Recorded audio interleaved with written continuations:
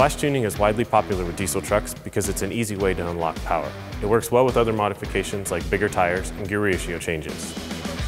Superchips has been in the tuning business since 1983, back when it meant actually taking the physical chip out of the ECU.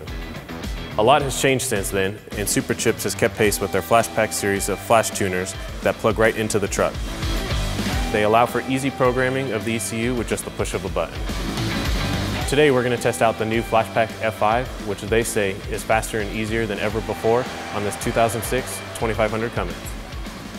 We just had the truck on the dyno and it put out 319 horsepower and 590 pound-feet of torque. Superchip says with an easy reflash, we should see an increase of 100 horsepower and 250 pound-feet of torque. Let's see what it can do.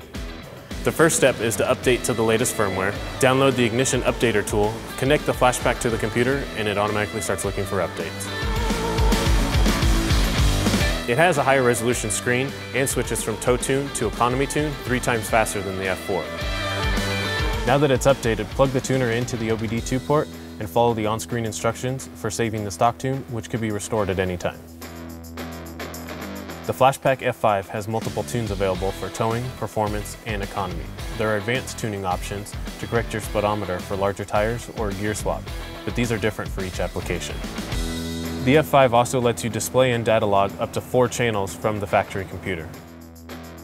Another great feature is that it can read and clear diagnostic trouble codes.